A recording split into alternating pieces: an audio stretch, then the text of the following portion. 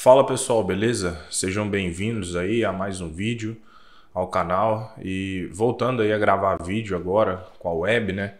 Uh, bom, e o vídeo de hoje, pessoal, vou falar com vocês é, sobre zonas, né, sobre regiões onde a gente deve priorizar as nossas operações para capturar grandes movimentos, né? Porque muitas vezes é, as pessoas elas operam em regiões onde não há um grande interesse, né, por parte dos players ali e ela não consegue bons movimentos. Às vezes o preço anda pouco e já devolve. E eu vou mostrar para vocês na prática, em cima de uma operação que eu peguei hoje. Eu compartilhei lá no meu Instagram. Eu já convido vocês para me seguir no Instagram. O link está aí na descrição. Onde você vai acompanhar algumas operações que eu pego, né, que eu compartilho, tudo em conta real. as análises que eu faço, né? E se você também tem interesse em se tornar meu aluno, né? Você que me assiste aí gosta do meu trabalho, quer aprender a fundo a minha leitura, tem também a minha mentoria e o link fica aí na descrição. Então vamos para o gráfico aqui, pessoal. Eu vou compartilhar com vocês. É, esse aqui é o dia de hoje, né, dia 8. E aconteceu um movimento muito interessante e eu quero mostrar para vocês como é, os movimentos grandes é, eles se originam né, de alguns pontos onde a gente já, já tem uma ideia que ali tem é, interesse forte. Né? Na minha mentoria, pessoal, eu costumo é, falar bastante né, sobre marcações né, de pontos de parada, é, são os suportes e as resistências, né, que a gente chama de região, é, região de interesse. Né? E a gente precisa saber muito bem marcar esses pontos, né? Porque quando o mercado ele faz um forte movimento ali, vou dar um exemplo aqui. Vamos pegar, por exemplo, o gráfico diário. Se a gente olha para esse gráfico aqui, ó, por exemplo, tá? A gente vê que o mercado ele vinha bem forte de um movimento de alta e ele marca um topo aqui. E esse topo, né, ele faz ali uma correção bem ampla, ou seja, ele origina um movimento forte. Esse topo aqui, pessoal, ele é bem mais forte, por exemplo, do que esse mini topo aqui, ó. Esse topinho que a gente mal vê ele aqui. Tá vendo que aqui também tem um topinho, que o mercado faz isso aqui e tal, e depois devolve? Então, esse topo aqui, ele é muito mais forte tá, do que esse topo. Isso é importante na hora da gente fazer as nossas marcações, porque a gente prioriza, né? Isso eu ensino assim bem aprofundado na mentoria, para os alunos aprender a marcar aqueles pontos aonde realmente há um movimento muito forte. Vamos pegar, por exemplo, uns 60 minutos, tá? Exemplo para vocês. Vejam como o mercado ele sobe muito forte aqui e depois ele cai. Este topo aqui, pessoal, ele é bem mais forte, por exemplo, do que esse topinho que foi formado aqui, porque aqui também é um topo, ó, essa região. Mas percebam como este topo aqui, ele é muito mais fácil batendo o olho, né, visualmente da gente avaliar, e nós conseguimos ver que o mercado faz um grande movimento. Então isso é um dos critérios assim para a gente identificar boas regiões, né? Tanto é que nas marcações minhas, né, de suporte e resistência, eu sempre priorizo aqueles movimentos mais visíveis, que, que vão ser justamente esse tipo de movimento onde o mercado ele faz um, por exemplo, uma subida muito forte e depois ele para num lugar e ele cai, porque ele fica bem visível, né? Bem nítido. Diante disso, pessoal, o que, que acontece? É, nós tínhamos uma região aqui no gráfico de 5 minutos, é, a marcação analisando o gráfico de 5 minutos, do gráfico de 4 horas mais ou menos nessa zona. Lembrando também, pessoal, que todas essas marcações eu compartilho no meu Close Friends. Eu tenho um Close Friends e às vezes a pessoa ela não tem condição de fazer o meu treinamento. E o Close Friends ele é bem mais barato, ele é R$ 99,00 por mês, você tem acesso a todas as minhas marcações e todos os dias eu faço um resumo de como que foi o dia operacional dentro da minha leitura, as possibilidades de trade, né? Então é algo mais acessível, tá? E o que, que eu visualizei? Aí a parte do contexto ela entra muito forte, porque uma coisa, pessoal, é você ter uma zona de interesse. Ah, eu sei que esse ponto aqui ele é um ponto forte. E é aí que muitas pessoas erram operando suporte, resistência, enfim. Eu sei que esse ponto X ele é forte. Exemplo, eu sei que essa região aqui ela é forte. Mas, pessoal, não é porque o preço vai bater aqui que eu vou comprar. Ah, bateu aqui, compra. Não, é aí que muita gente erra. Por quê? Nós precisamos ver a reação do mercado, pessoal. É o mercado que mostra se ele tem interesse ou não.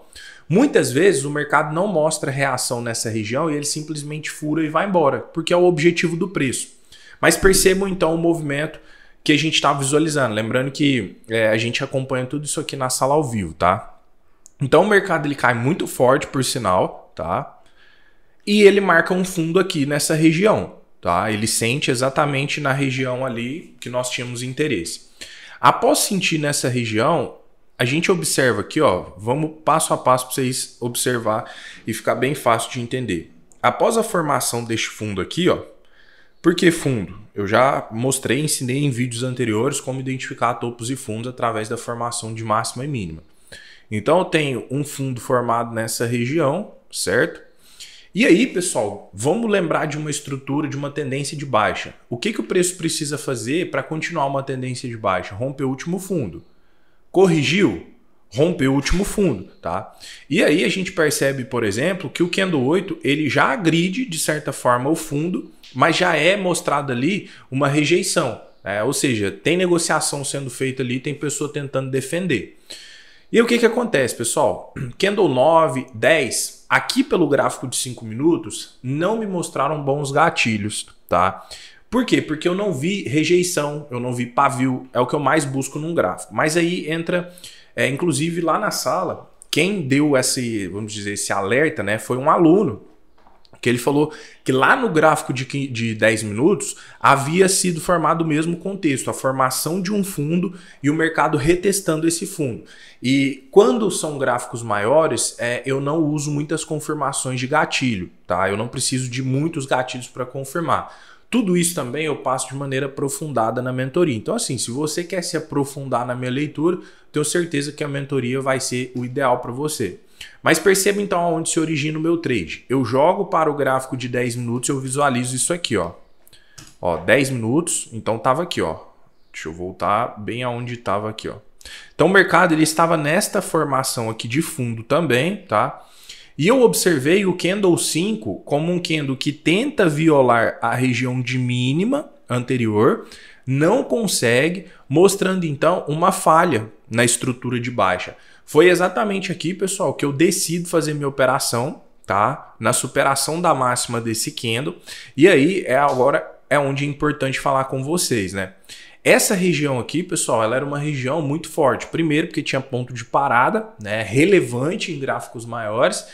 E segundo, pessoal, porque a estrutura do dia estava confirmando isso. E é o erro de muitas pessoas. Elas querem operar, porque eu já vi pessoas falando assim: Pô, Arthur, você fala que opera só o dia, mas você fica marcando suporte e resistência de dias anteriores. Pessoal, os suportes e as resistências, eles não são nada sem o contexto do dia.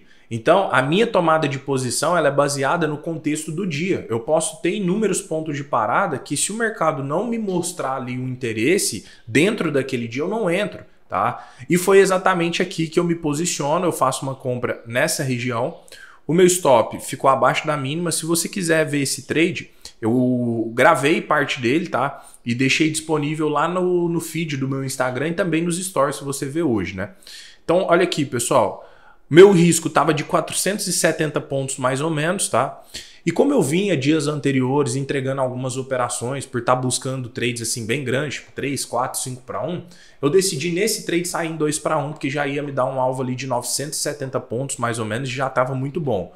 E aí o mercado aciona o meu trade, ele tenta devolver aqui, mas perceba de novo que entra rejeição e nesse próprio candle set ele dá minha parcial, é onde eu tiro o meu risco, então o meu stop que estava aqui, ele vem para o zero, tá?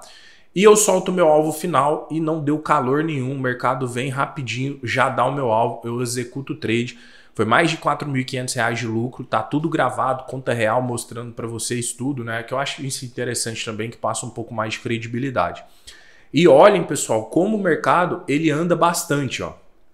Depois que eu zerei, ele ainda subiu muito mais. Só que aí, pessoal, o meu já tinha feito. Ó, eu saí com 970, mas o preço chegou a andar aqui 3 mil pontos. Pô, mas ninguém tem bola de cristal, não é mesmo? Para poder saber. Então, pessoal, a ideia aqui não é operar em qualquer lugar. Vou dar um exemplo aqui para vocês, tá? É, batendo o olho aqui no gráfico, nesse momento, eu não vejo nenhum ponto de interesse aqui nessa região, aonde a gente está vendo que tem formação de gatilho aqui, candles com pavio, enfim. Não faz sentido para mim, diante disso que eu estou vendo aqui, comprar, por exemplo, aqui nessa região, somente porque eu tenho um gatilho sendo formado. Porque eu não tenho uma zona de interesse. Nós temos que entender, pessoal, que o mercado ele só se desloca né, por duas coisas nós precisamos ter oferta e nós precisamos ter procura. Então, se eu tenho uma zona onde não é interessante nem para comprados nem para vendidos, provavelmente o mercado vai ficar dançando nela ali, entende? Aí é uma disputa de preço onde a gente não deve participar. A gente tem que tentar é, pegar, digamos assim, o bonde andando em uma zona específica. Em uma zona onde a gente sabe que o mercado ele pode sentir bastante, porque anteriormente foi feito grandes movimentos nela.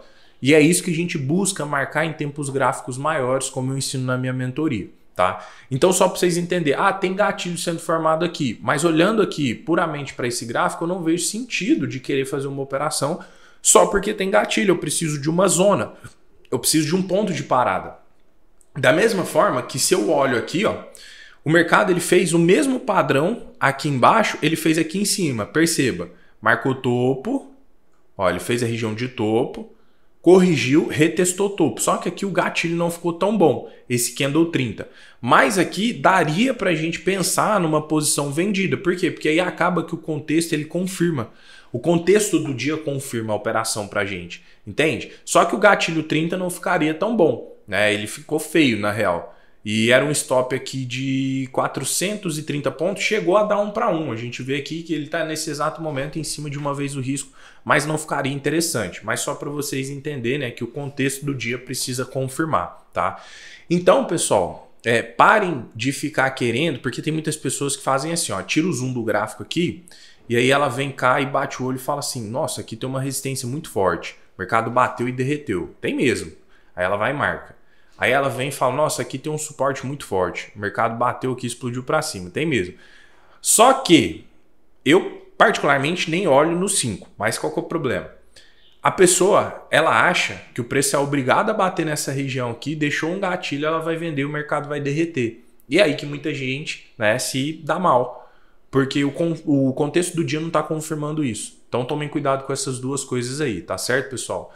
Então é isso, vou finalizar o vídeo aqui. Né? Se você gostou, fortalece no like, se inscreve no canal, isso é muito importante né? para o trabalho continuar é, sendo divulgado para mais pessoas. Né? Então deixa o seu joinha aí, uh, me segue no Instagram, indique esse vídeo para algum amigo, né? se você conhece alguém que está com dificuldade. Eu estou sempre lendo os comentários, pessoal. Então deixa o comentário que eu estou sempre lendo aí, fechou? Tamo junto, pessoal. Um abraço e até a próxima aula. Valeu!